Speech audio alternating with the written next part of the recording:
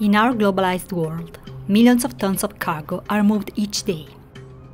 This kind of huge scale trade sounds like a modern idea, but people living 4,000 years ago would easily have recognized this concept. Today, we'll take a close look at the oldest businessman we have a trace of. This is the story of the Assyrian trading system. My name is Sarah. Welcome to the Mists of Time.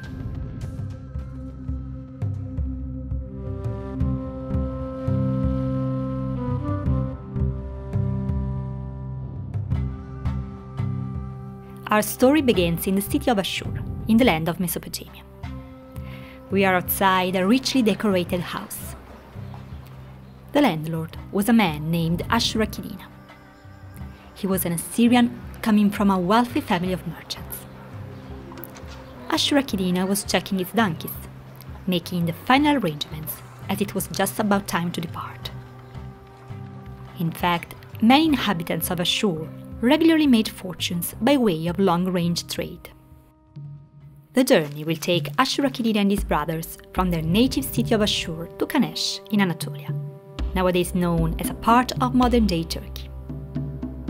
They expect to get quite rich off of this trading expedition. But the road ahead is long and hard. It will take about 40 days of travel through rough and dangerous lands roaming the arid pastures of northern Mesopotamia, crossing rivers, hiking over mountains, and going through dark forests before reaching their final destination. The Assyrians will move about 30 kilometers per day, and occasionally they will find a safe haven. Along the road, there were special inns for traveling merchants like them, or they'd come across villages that contained safe houses. But sometimes they had to sleep rough. Ashurakidina was the youngest of his family. This was his first expedition, and he raced alone through his father. The amount of money needed for an expedition like this one was quite substantial, and it was impossible for a single merchant to do it alone. So joint ventures were quite normal. In Ashurakidina's case, he had put some money together with his brothers. Amurili crossed the main gate. He was Ashurakidina's eldest brother and his servants were carrying some luxury textiles. These textiles were bought in Sumer, the land south of Ashur. The margin on these items was very high, and they were much prized by the nobility of Anatolia. Finally, Ashurimiti, the last brother, arrived. His servants were carrying bulky baskets. They were full of tin, a shiny silvery metal. This was a strategic resource at the time. In fact, when you mix molten copper and tin, you create bronze, an alloy that's harder than copper alone and can be used to make very effective weapons and tools. Ashurimiti's tin consignment was extracted and refined in the east, in what's now known as Iran. Tin and copper were used to produce bronze, but mines of the requisite metals were not generally found in the same region so traders like Ashurimiti were essential to the production of this revolutionary alloy. The city of Ashur was clearly in a very strategic position, in the middle of two important productive regions, and so naturally a hotspot of opportunities. But a strategic position is also sometimes a liability.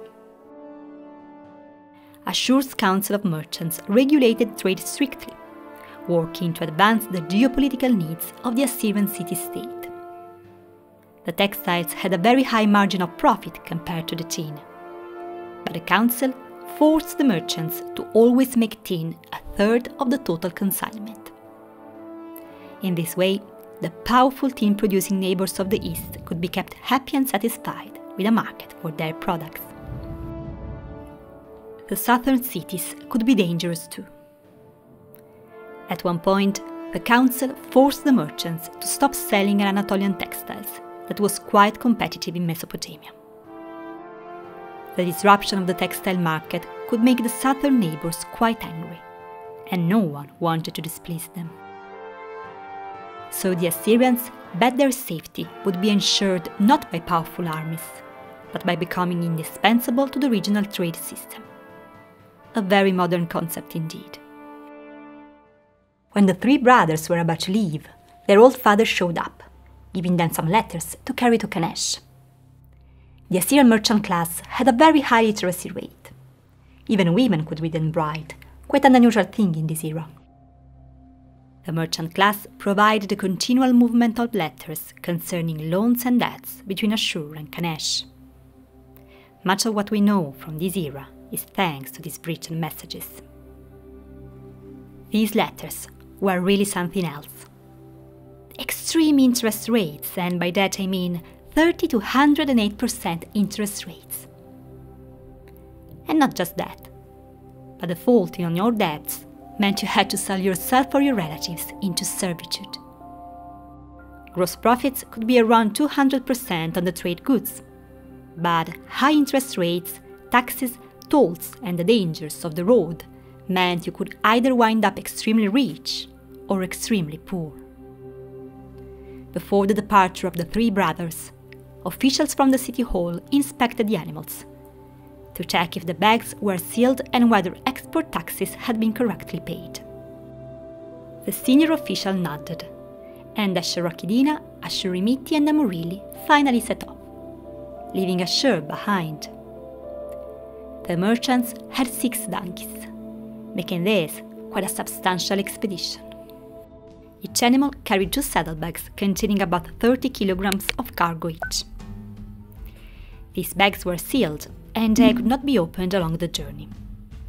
But each donkey carried a small top bag with some tin used for the journey expenses, as money had not been invented yet.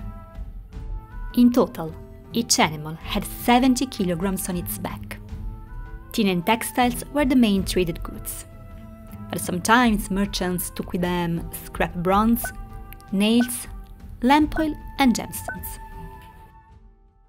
For 10 days, the merchants followed the Tigris River. Then they traveled west by crossing the arid plains of northern Mesopotamia. They used well known paths, stopping at inns and friendly villages. Eventually, they reached the city of Ahum, where they had to cross a river. A treaty had been signed many years prior.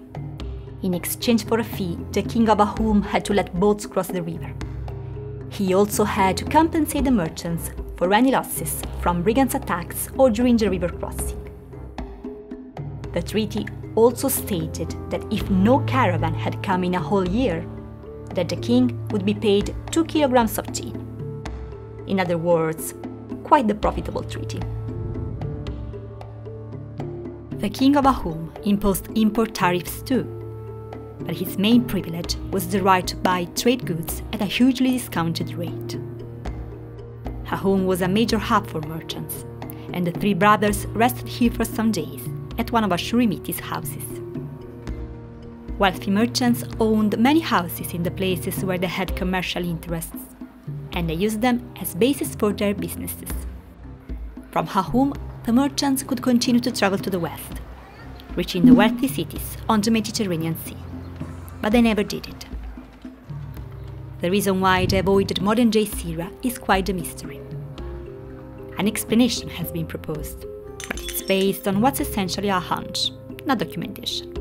So, to take it with a pinch of salt.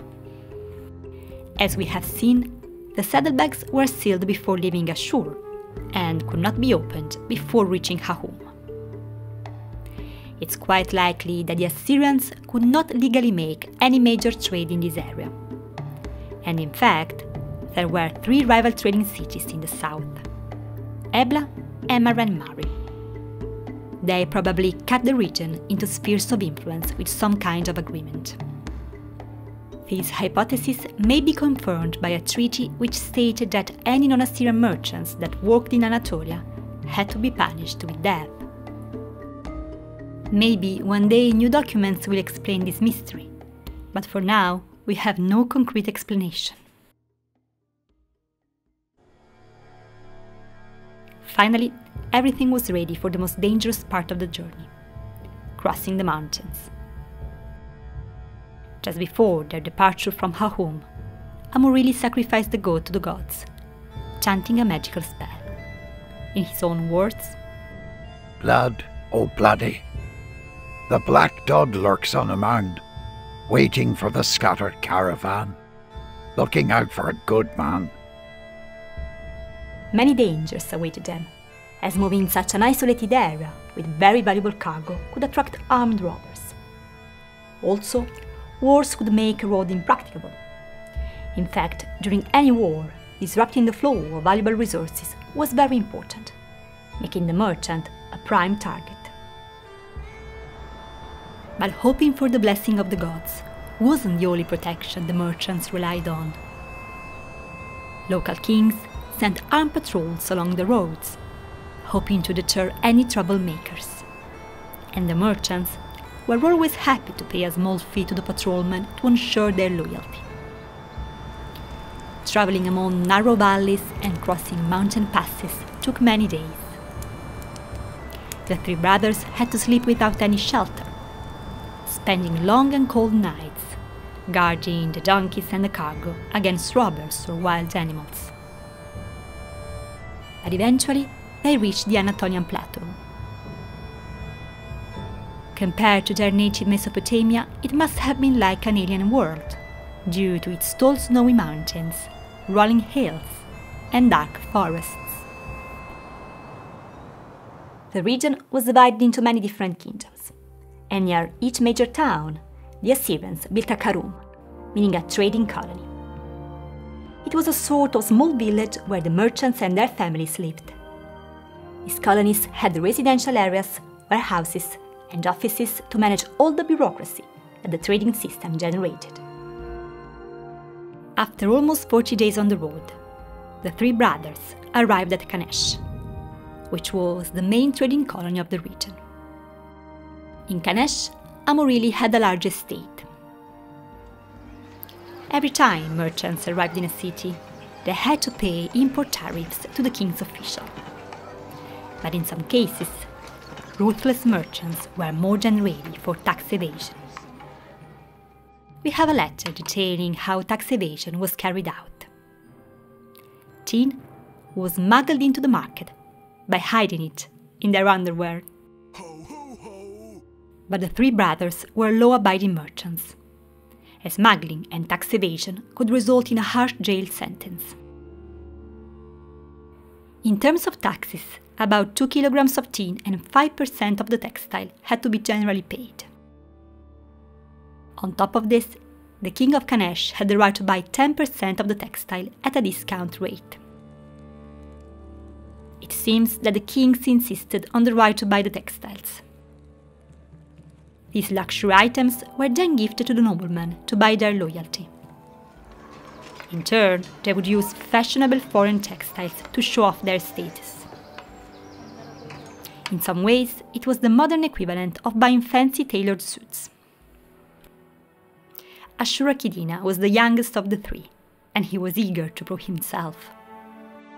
His eldest brothers sold their share of goods in Kanesh, but after some days of rest, Ashura said his goodbyes to his brothers, took his two donkeys, and started roaming the whole Anatolian region. For weeks, Ashura moved, city by city.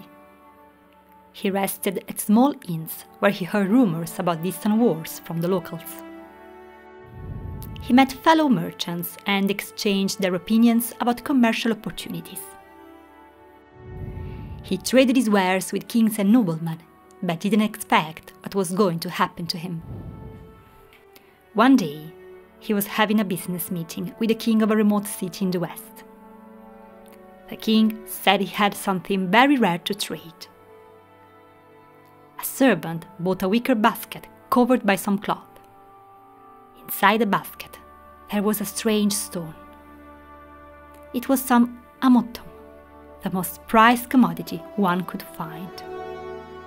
It was a meteor from space, made of solid iron. For Ashura Kedina, it was the biggest opportunity of his life. In the Bronze Age, no one knew how to smelt iron, so meteors provided the only available source of this material.